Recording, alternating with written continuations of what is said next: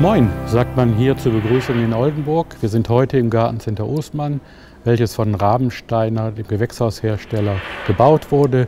Es ist für mich ein Vorzeigeprojekt in Deutschland, weil hier Nachhaltigkeit beim Bau genauso umgesetzt wird wie Nachhaltigkeit auf der Fläche mit der Produktauswahl, mit den Schönheiten, robusten Schönheiten, die wir haben. Und ich glaube, das ist äh, ein Weg, wie wir ihn alle gehen können.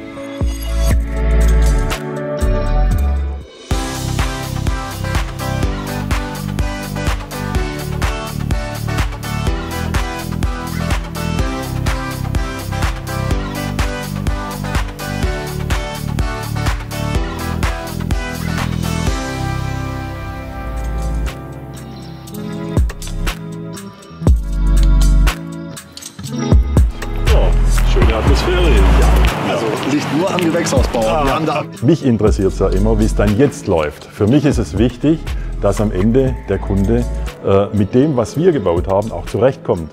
Wir haben eine lange Zeit jetzt auch miteinander gearbeitet, zehn spannende Monate. Ähm, und am Ende für so ein großes Projekt eigentlich eine kurze Bauzeit. Absolut. Wir haben, glaube ich, viel miteinander gelernt und am Ende, glaube ich, ein tolles Projekt hinbekommen. Ich bin sehr glücklich damit. Man muss eigentlich dazu sagen, es gab ja diese Idee äh, der Planung hier nicht von uns, sondern die wurde von einem äh, Architekten erstellt, der Gartencenter plant.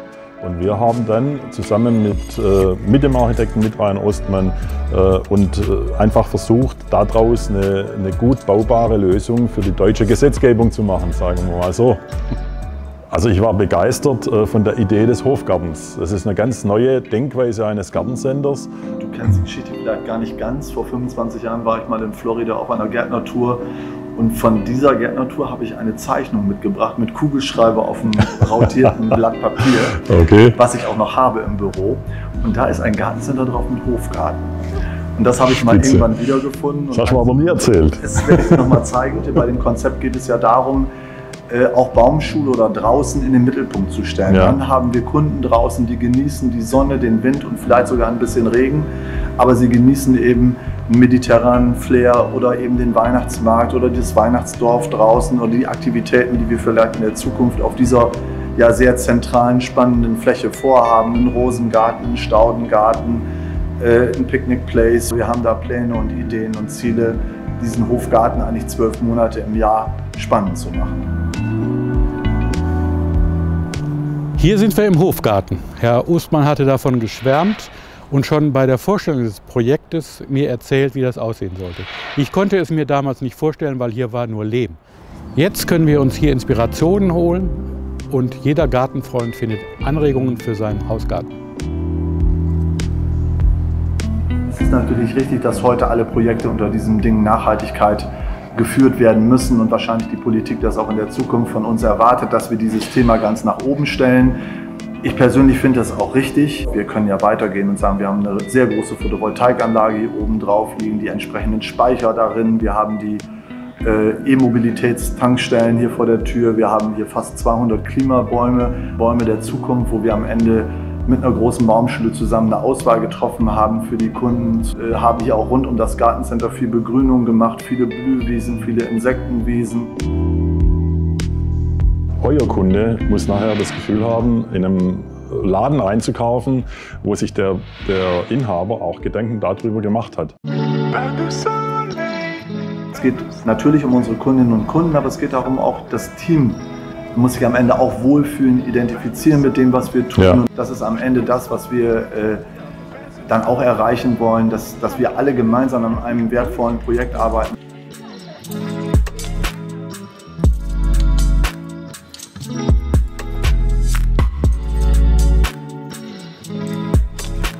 Ein Aspekt für uns immer, und da haben wir gemeinsam auch nochmal richtig äh, intensiv drauf geschaut, als der Einrichtungsplan dann stand, äh, zu sagen, äh, wo brauchen wir jetzt keine transparenten Dacheindeckungen, weil Dacheindeckungen, die transparent sind, eben sehr viel mehr Energie nach draußen tragen. Äh, und wir haben uns dann auf ein Konzept geeinigt, wo eine gute Kombination zwischen sehr gut gedämmten Paneelen und einer transparenten Dacheindeckung äh, heute, wenn man es so sieht, einfach ein, ein Bild gibt für den Kunden auch. Ich glaube, der Kunde empfindet es jetzt angenehm, wenn er durchgeht, dass es die Bereiche gibt, wo es eben dunkler ist ähm, und nur das Licht wirkt. Und äh, die Bereiche, die richtig hell durchflutet sind. Da ist es einfach gut, wenn man da auch ein bisschen an die Hand genommen wird und am Ende auch weiß, was sind denn die Materialien, die man verwenden soll, was ist am Ende wirklich gut isolierend, nachhaltig und am Ende auch für den Kunden gibt es ein gutes Gefühl.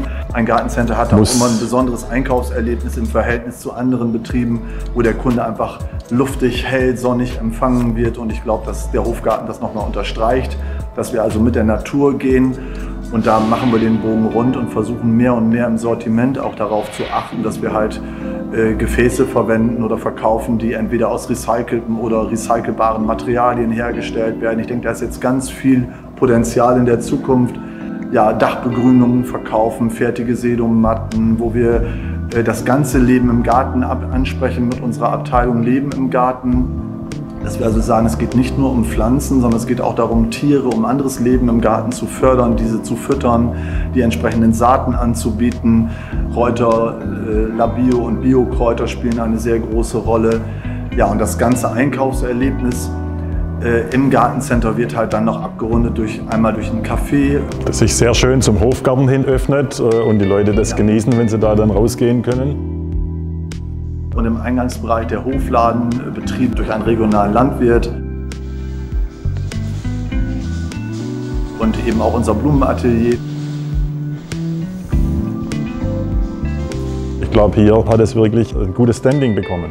Wir sind natürlich Gärtnerfamilie seit über 70 ja. Jahren. Wir kommen daher. Ich bin selber gelernter Gärtner und Florist und dann gehören Schnittblumen ist ja, und gehören dazu. Team ganz ja. nah an, ja. an uns heran. Und das lieben wir einfach nach wie vor sehr. Es war eine tolle Zusammenarbeit. Wir haben, glaube ich, viel geschafft. Und äh, für die Zukunft äh, kann ich mir sicherlich vorstellen, dass wir auch nächste Projekte miteinander angehen. Das freut mich zu hören. Ja, wir, wir haben uns zur Aufgabe gemacht, äh, hinter dem Gewächshaus mehr zu sehen. Wir wollen eigentlich den ganzen Kunden mitnehmen, wir wollen den Kunden, den Kunden verstehen, das ist das Erste, und am Ende ihm etwas bieten, das über die Lieferung von Glas, Stahl und Aluminium hinausgeht. Das ist unser Ansinnen und ich glaube, da sind wir sehr gut in der Branche angekommen. Ich glaube, wir haben in den ganzen Gesprächen und das, was wir auch jetzt eben gemacht haben, war, glaube ich, finde ich sehr authentisch, haben wir gemerkt, es geht oft um die Menschen. Es geht nicht nur um Zahlen, weil man am Ende in so einem Projekt immer wieder zusammenkommt. Sich auch mal, sich auch mal die Hörnchen abstößt. auch das passiert. Wir auch gehabt, als wir da bei der Entwässerungsleitung gestanden sind. Ja. Heute redet keiner mehr Heute davon. Heute redet da keiner mehr von, aber dann äh, ja. will der Bauherr manchmal auch mit seinem Kopf durch das Entwässerungsrohr. Das äh, kann dann passieren. Bin ich extra dann von Stuttgart wieder hergekommen, um das mir anzusehen was mich fasziniert, dass im Bau nachhaltig gedacht worden ist, aber auch äh, im gesamten Sortiment. Jeder muss die kleinen Schritte gehen und am Ende wird das ein großer Schritt werden, wenn alle da mitmachen. Klasse, das Jetzt noch. Kannst du Kasten?